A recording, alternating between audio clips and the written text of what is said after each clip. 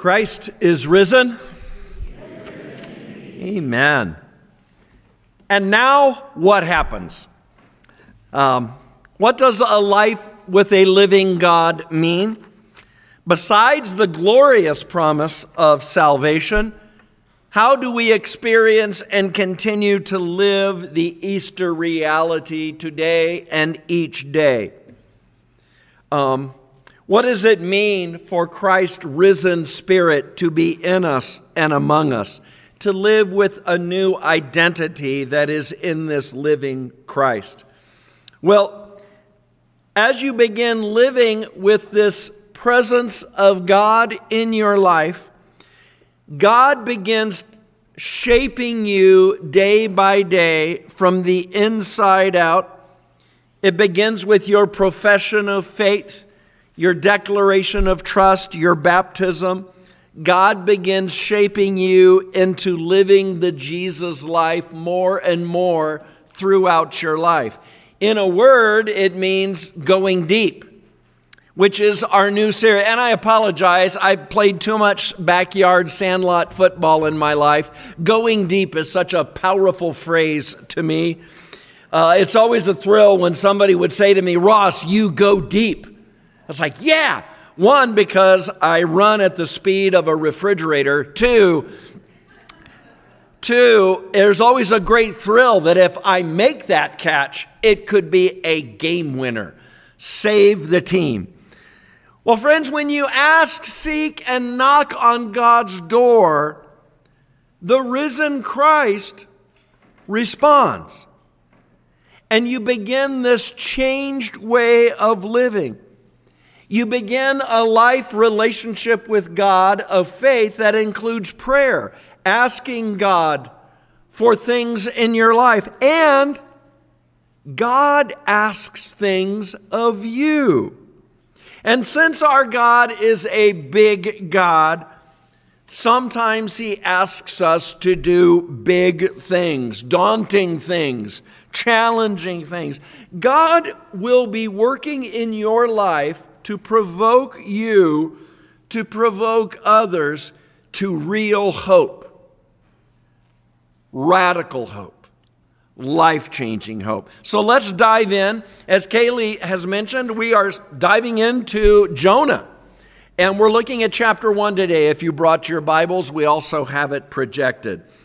The word of the Lord came to Jonah, son of Amittai Go to the great city of Nineveh and preach against it, because its wickedness has come up before me.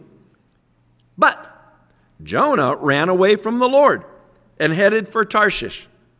He went down to Joppa, where he found a ship bound for that port. After paying the fare, he went aboard and sailed for Tarshish to flee from the Lord. Then the Lord sent a great wind on the sea and such a violent storm arose that the ship threatened to break up. All the sailors were afraid, and each cried out to his own God. And they threw the cargo into the sea to lighten the ship. But Jonah had gone below deck, where he lay down and fell into a deep sleep. The captain went to him and said, How can you sleep? Get up and call on your God. Maybe he will take notice of us so that we will not perish. Then the sailors said to each other, Come, let us cast lots to find out who is responsible for this calamity. They cast lots, and the lot fell on Jonah. So they asked him, Tell us, who is responsible for making all this trouble for us? What kind of work do you do? Where do you come from? What is your country? From what people are you? He answered, I am a Hebrew, and I worship the Lord, the God of heaven, who made the sea and the dry land. This terrified them, and they asked, What have you done? They knew he was running away from the Lord because he had already told them so. The sea was getting rougher and rougher, so they asked him, What should we do to make the sea calm down for us? Pick me up and throw me into the sea, he replied, and it will become calm. I know that it is my fault that this great storm has come upon you. Instead, the men did their best to row back to land, but they could not, for the sea grew even wilder than before.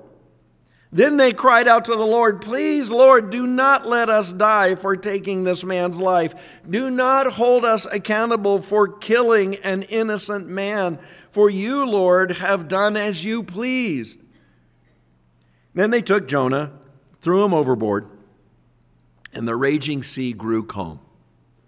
At this, the men greatly feared the Lord, and they offered a sacrifice to the Lord and made vows to him. Dear God, what a story. Thank you for this reading of your holy word. Help us. Holy Spirit, please help me with my words. Help us with our reflections. Lord, to hear your voice and not run away, but to say yes to you in faith. Amen. Get back. Get back. Here's a little song. Jonah was a man who thought he was a loner, but he really was God's man. Go to Nineveh and tell them that I love them. Jonah said, Hey, no way, man. Get back. Get back. Get back. Go back to Nineveh. Right? Oh, thank you. Thank you. Thank you. Yeah. What was Jonah thinking? Goodness. He, uh, running away from Yahweh intentionally buys a ticket to go the wrong way, go to the great city of Nineveh, preach against it because its wickedness has come up to me. God said go, Jonah said no. Can you do that? Jonah runs away from the Lord. He heads for Tarshish. Uh, he went down to Joppa, bought a ticket, and after paying the fare, he sails for Tarshish, fleeing from the Lord. Nineveh, okay, let's get oriented. Do, do, do, do. Right? Nineveh is to the east and a little bit north from where Jonah is. And he buys a ticket at the Joppa Travel Agency for Spain, Tarshish, which was on the west coast of Spain, almost 180 degrees in the opposite direction. And this reference to Tarshish stretches the geology of, of the Old Testament. Geography, my bad. In God's face. I want to book a ticket. Jonah goes AWOL, absent without Lord. Only, oops, theological mistake. You can't do that with the Lord. So the boat pulls out of port, right? Headed, it's a lovely Mediterranean voyage, right? Everybody has already received their leis. There's a marimba band playing. Uh, uh, there's a shuffleboard game already started on the Lido deck. Jonah's putting on sunscreen while he's joking with his new shipboard friends about how, can you believe it? I am running away from God. Nineveh, who would want to go there? And God calmly says, Cue the wind. And the ship faces this horrible storm, threatened, threatening to break it apart. This is a storm their shields are weakening, Captain. The ship can't take much more of this. It's one of those scenes. The sailors are each crying out to their own God. Isn't that an interesting summary of society, culture, and life in one sentence? They're panicking and praying at the same time. Welcome, friends, to this remarkable story and the three rules of Jonah. Rule number one God is in control. And God's control centers around His glory, His purpose, and mission of love. Get this while the storm is raging, Jonah is sleeping in what I believe was a depressive state of self centeredness. But he finally confesses his guilt when the captain wakes him up yeah, me and the crew, we're having an everyone pray to your own God to see what works party up on the top deck. We were wondering, instead of sleeping, if you'd like to come and join us so that we don't die. And Jonah's response points out rule number one. He answers, I am a Hebrew and I worship the Lord, the God of heaven, who made the sea and the dry land. I learned that for many ancient Middle Eastern and Asian religions long ago, it was commonly believed a God who could control the ocean was usually viewed as top God. And so Jonah's ID claim here is on point and finally, at last, on purpose. He's a Hebrew. He is a part of the called people of Abraham, whose original covenant called them through the years to be a people of blessing to all the other nations. But Jonah, Jonah speaks of this God, and it leads to rule number two of Jonah's story. God chooses to use, choose you in his plans and mission. We looked at this rule yesterday in our Faith Tools workshop. Some people call it God's predestination, how God works to save those in our lives. And God is able to order events in this world to achieve his purposes. Jonah says, Pick me up, throw me into the sea, it will become calm. I know it is my fault that this storm has come upon you. Now, this is a very compressed story, Jonah, but one can only imagine that this is now a pivotal point for this petulant prophet. It's me. It's my fault. And one can wonder Perhaps Jonah was wanting to at last atone for his mistake of running away from God to save Nineveh. Maybe he's thinking, at least, at last now, I can do something that will at least save this crew on this ship. Throw me overboard. And so, in his desperate come clean confession, he admits to this sin, how he chose to reject God's call and it would require a sacrifice in the mode of an atonement to bring God's peace and restoration. It must be me. And this leads us to rule number three of Jonah. If you reject rule number two, go back to rule number one. God remains in control when we don't. And look at this even when we choose to reject God, He doesn't immediately reject us. I mean, why didn't God simply say, okay, goodbye, let's pick someone else? No, it was Jonah for Nineveh, God's plan. And God would control this story for the people's pardon, for Jonah to be the messenger. And at this, the men greatly feared the Lord our story in chapter 1 concludes they offer a sacrifice to the Lord and made vows to him. These pagan sailors, it's a marvel. They see God's long suffering grace at work. These pagan sailors, with their pagan captain, they learn to fear and worship the living God, even in the midst of Jonah's guilt.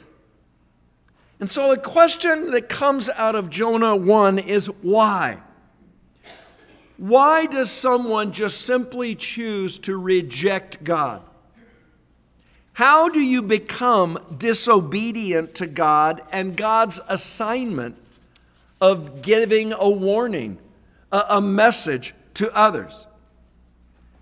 Well, one idea I want to suggest today, uh, I'm calling it the Nineveh negativity bias.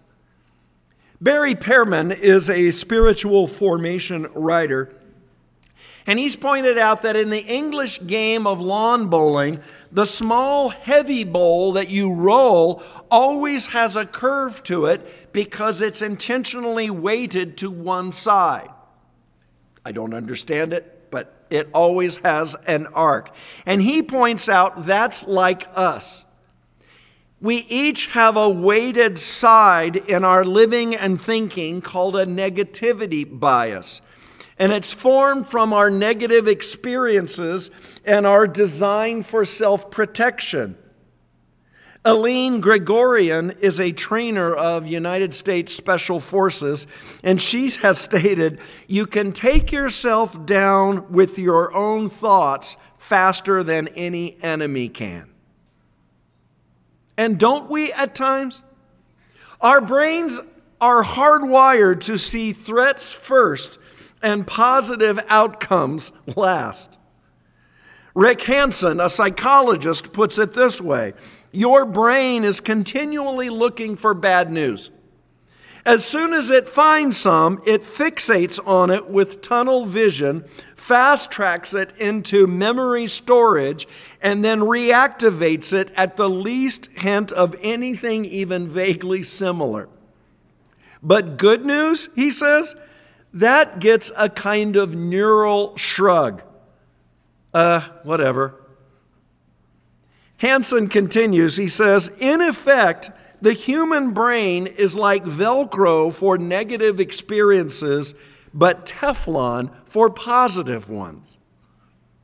And friends, when God begins leading us into positive purpose activities, our negativity bias kicks in. Our mindset for self protection becomes a mindset for self centeredness, which is ill health, disobedience to God's will and call. And this is why we must continually be working, asking for God's help in overcoming our negativity bias. Friends, the Bible teaches that you are the U joint in God's differential. I want to do some car talk. Uh, you all know what a differential is in a car, right? Looks like that. It's the part of your car's powertrain that translates the power from the engine outward to the wheels that gives you forward movement. I want to say that the Church of Jesus Christ is God's differential in this world. We are God's gears for bringing His presence and life over death, moving it forward in real situations and lives. And in every powertrain of a car, you will also find a U joint. Looks like this. The U in U joint stands for universal joint. I like to think it stands for you and me, right? We are a key gear where you are in your life of translating God's message of resurrection hope and comfort and peace into the lives of people around you, even places like Nineveh. Nineveh was an Assyrian city known for its cruelty. Oh, inhumane treatment, witchcraft, sorcery, violent oppression. And by the way, did you notice how a U joint looks a lot like a cross. When you accept the cross of Jesus Christ's suffering and death and the victory of his empty tomb into your life, Jesus gives you a cross. And we begin, we begin to learn day by day how to live that sacrificing life, giving up from who we are, what we have, for the work of love. And it's worth the return. Getting in gear with Jesus' mission. Friends, I believe every one of us has a, I call it my everyday calling. And we also, each of us, have what I call is my specific calling. Now, please, this is me doing some theologizing, but I think I'm right. One is the backdrop to the other, and the other reinforces the other. My everyday calling is my reach prayer list. The people I see and relate to on a regular basis. Uh, often it's about 8 to 15 people who live near you or with you or you encounter at work or school. They are my everyday mission field that God's given to me. I, I, I, need to intentionally write their names down as an act of faith. I, I try to pray for them every day. I, I, try to care and invest in their life with sincere love and help. I try to speak and show and invite gospel potential opportunities when I can. And I want to continually prepare God, please make me better in my calling. Now, my specific calling, that refers to your unique giftedness as a disciple of Jesus. It's a specific area or mission or aptitude God has given you to serve His needy world. For me, a specific calling is serving and working as a pastor. For some of you, it's fixing cars. You know what a differential is. Or being simply but wonderfully a prayer warrior or an encourager. Maybe you're a teacher. Maybe you serve in medicine. You're a counselor. Maybe you're a business person selling a worthwhile product and helping people be employed. Maybe you're an artist. Maybe you sing on a praise team. For Jonah, his specific calling was Nineveh. Friends, becoming open to God's presence means becoming open to God's purpose. And this may take a while for some of us. I think for most of us, it takes a lifetime to learn and experience. It starts here at this table. We encounter the presence of the Holy Spirit, of the risen Christ in communion. Here we remember his sacrifice, the cost of God's love given to us. It's also here we receive the bread, the cup, the strength from Christ's presence for us that helps us in our work and life for Him? And a key question we should ask at the table today is Are you trusting more in your inadequacies than in God's adequacies for you for any situation? Because I can tell you, in some respects, we are each inadequate for God sized roles. And it can make you want to go running or get on board a ship. But look here who goes with us today. Every day. Look who is giving us this morning his holy presence for our strength, inspiration. What if after feasting in Christ's presence here, we offer to God and others a line that is adapted from Jonah. And we say and live, I am a Christian. I worship the Lord of the heavens, the sea, and the land, the Lord of the cross and the empty tomb. Throw me into your storm. I'm here for you, and I bring with me the Savior of the world.